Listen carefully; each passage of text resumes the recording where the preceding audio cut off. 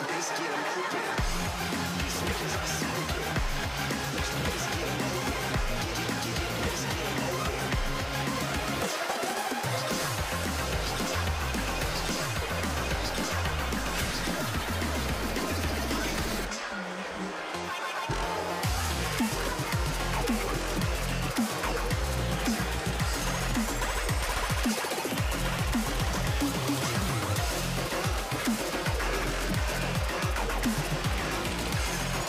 Thank you.